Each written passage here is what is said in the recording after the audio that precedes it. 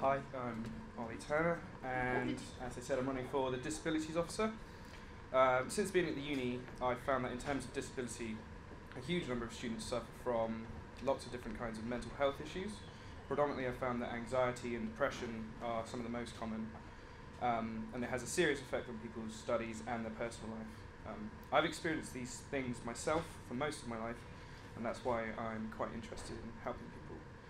Um, I've already been in this position since the by-election a few months ago, um, and I've been making plans to run a support group for general mental health, and there's also some plans for some more specific ones. But hopefully one day we'll branch out to other forms of disabilities. Um, but I also want to be just sort of a figure in the university that people can go to for help and advice surrounding disabilities. So um, please vote for me so these plans become a reality. Thank you very much.